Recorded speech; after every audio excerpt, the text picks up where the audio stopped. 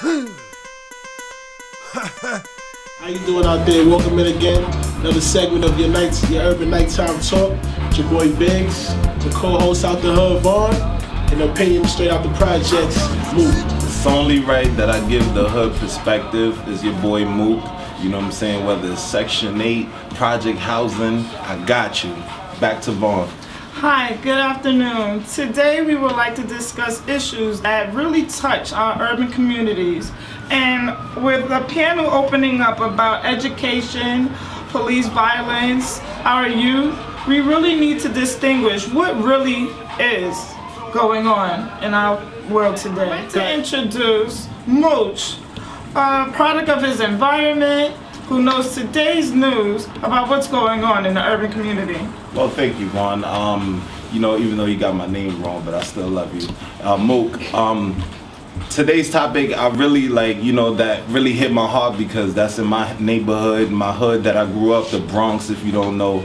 And uh, yesterday, a child was apprehended by NYPD because of he stole five dollars. Like what happened to school delegating responsibilities and reaching out to the parents? So I don't understand like what is going on. So I, I, that's why I had to I had to come on this segment and bring that up today. I had to. Well, excuse me, Mook. I'm sorry Yeah. to interrupt you. Do you feel that the police serve a justice within our community or an injustice? It's I mean no, like for for matters of that, like come on, he's he's seven years old. Right. Like what do you what what do you what is he gonna tell you? I mean, You know? overall of their the whole experience of them just being a part of everyday life and culture. Do you feel like they're a justice to our neighborhoods? Or I mean, what kind? I don't, I don't know. I don't know what's going on. That- I know that's not justice because, you know, like growing up, I know that when you did something wrong, like your parents is reached first, and then you know y'all work things out. But going to like the government and city, I think that's taking it a little bit further than it need to be. So what, So- can be, what can be done to help these kids? Right. What could be done is just explain, you know, the magnitude of the situation. Let them know that, uh, like, there's other ways. Like, let them know first of all that there's consequences and that it can, you can be apprehended, but it should not go that far. Like, you know, they they need to be aware of it can go that far, but at the same time, principals, counselors, teachers, like, you know, they need to have more of a communication between them. Do you feel that uh, the police are abusing their authority in the community? Definitely, definitely. The other the other day, uh, uh, uh, nice young a nice young lady came up to me and was expressing her thoughts about the watchtower because we have a, a few watchtowers in the neighborhood, and um, a cop was saying that he's in the community here for you and everything. And as you know, growing up in the hood, like watchtowers is not gonna solve crimes. watchtower is? A watchtower, for people who don't know, is a device that they have like set up in a castle or like you know up top where it's camera surveillance to monitor the neighborhood 24 hours a day. But as we all know that crime is gonna happen regardless. But watchtowers is just like a man in a booth for like 24 hours and it's only 10 officer. and it's yeah it's, it's during a duration of like i would say like you know how for however long they you know stay there but it's only temporarily so Well, I would like to add a little insight on this topic. I feel the police is doing a magnificent job. In order to keep up with these criminals of today, we have to stay on top of things, and I feel like New York City as a whole is going in the right direction. We can't satisfy everybody and make everyone happy, but I just hope at the end of the day, we'll do what's right for the people in their communities. Who's policing the police, and how do you feel about the stop and frisk? oh man the stop and frisk i think i've been subjected to the stop and frisk at, at least 11 times or better it's just i don't understand like if you're a detective and you're doing your job you should know who the criminals are in the neighborhood don't keep harassing the people that's doing what they have to do the regular nine to five grind hard working people getting harassed for no reason i don't understand like Okay, well, we have a little bit of time left. Um, we want to ask you now the final question. What is the hottest topic in your hood? hottest topic right now, man. They talk about the Super Bowl right now. I'm gonna be, I'm gonna be real with you. The Super Bowl is bumping right now. Um, I guess you know that gives everybody a little break right now. You know what I'm saying? Besides the, you know, the child being Surprised not the. Yankees. Nah, Do the Yankees. They, that oh man, the let's not talk about that. It's Super- another segment. Yeah. Do you feel that the Super Bowl is a distraction to the urban community as far as the commercials and uh, the, the the advertisements that they have on to to subliminally keep people from paying attention to the realities that they're faced with in their world? Absolutely. Like honestly, I totally agree with you on on that. Um, I believe that we all need like some time to get away, but at the same time, like it's just that every look who they targeting. They targeting the urban teens, and you know, like because who's gonna who's really buying this stuff?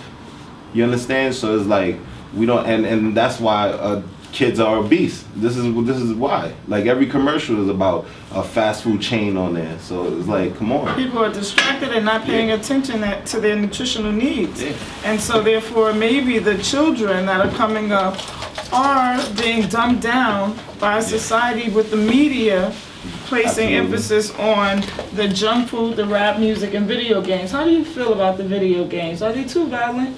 Like I said before, uh, f- my kindest opinion, I feel everybody has the right to control their own instinct. Uh, if the child is doing wrong, that's what parents are for. If the child is eating wrong, that's what parents are for. If there's problems within the household, if you cannot get counseling, then that's what parents are for. Uh, we like to go to a public service announcement. We'll be right back. It's your man Peppermint Black here, talking about sponsor against drunk driving.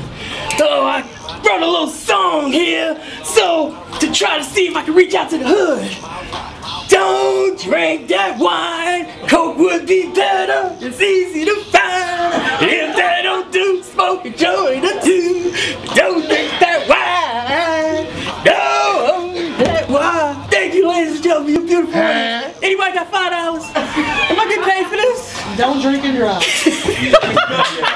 Guest Peppermint Black for giving us that PSA about don't drink and drive.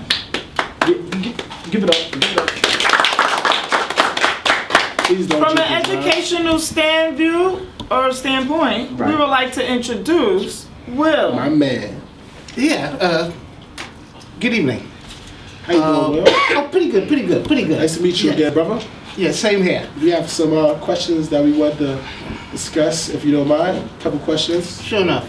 All right, the first question. I know you're not maybe not too familiar with the culture and style of music of today, but can you tell us the five hottest songs in the hood? Okay, well, Frederick Douglass says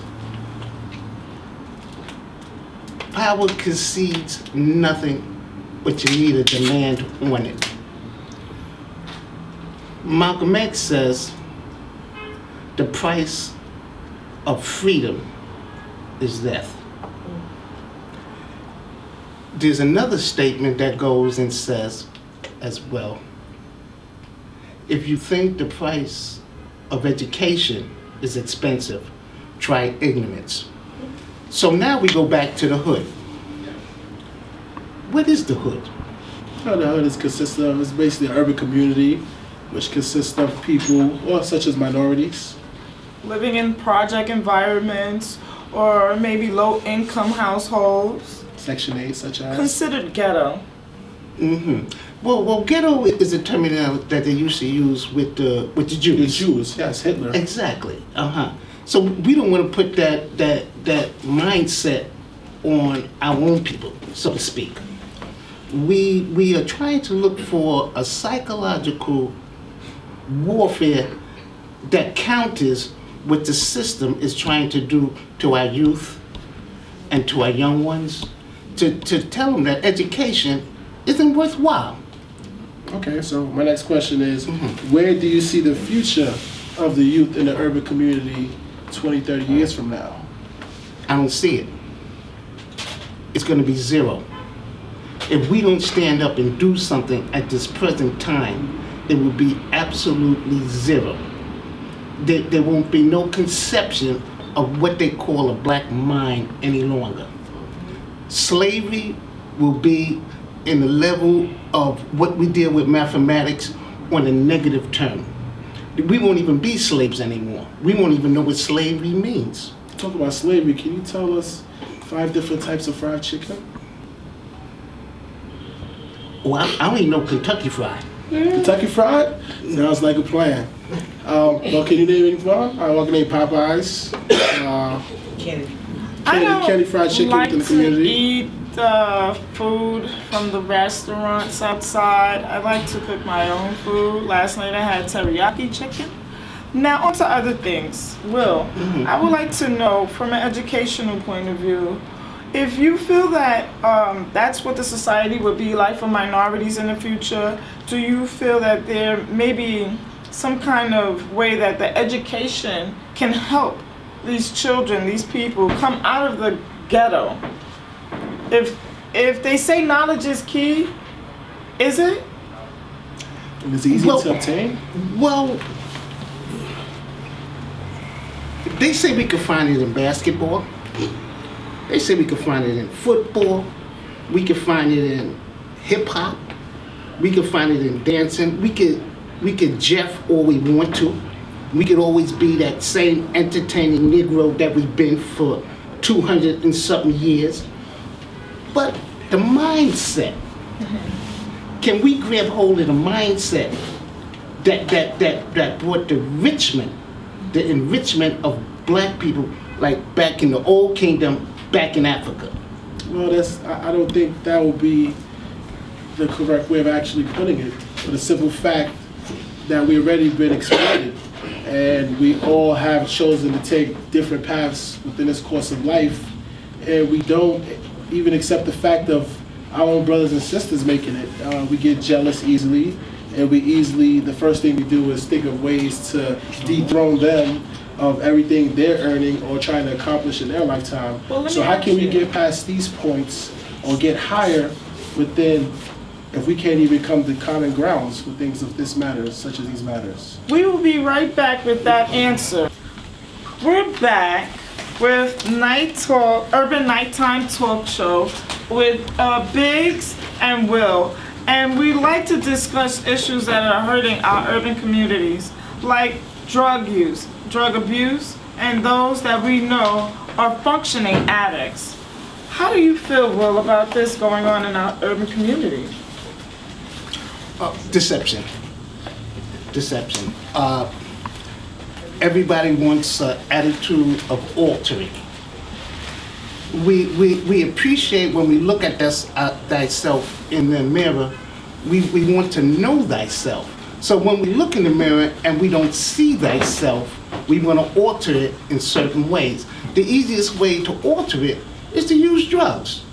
And then when you look, you look in the mirror and you look at yourself, and you say, you know what? I'm not bad looking, even though I'm nodding, even though I look drunk, even though I look unsophisticated. But I'm happy with this because I don't look like what I wanted to look like before. So, so my alternative is I'll go to the, the system, and the system tells me in the pharmaceutical world, we'll take this and they'll alter it, and you'll like what you see. And then when you look, when, when they advertise it inside, or when you watch the TVs, they'll give you that this drug will help you in a lot of ways. But when they tell you this may have an effect on you, you may die if you use this two times a day. So you'd only have to use it a quarter of the day. And at the same time, they'll say, well, if you have any complications, go to your doctor.